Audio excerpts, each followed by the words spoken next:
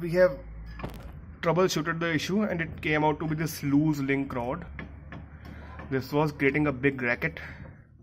So thankfully with the help of YouTube I was able to uh, get to this point. This was the major issue thankfully. Got it sorted out.